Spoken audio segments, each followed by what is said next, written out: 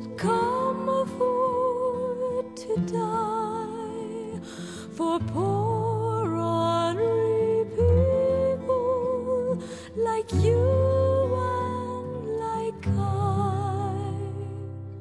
I wonder as I wander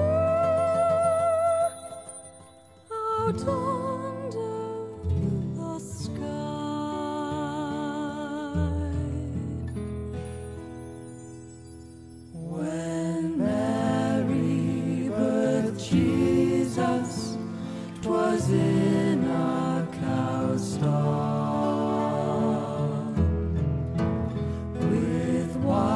Wise men and farmers and shepherds and